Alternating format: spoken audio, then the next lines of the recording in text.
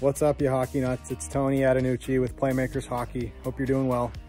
Uh, I wanted to share with you today a sample of a stationary warm-up that you can use. Uh, we'll also be giving you a sample of a dynamic warm-up as well.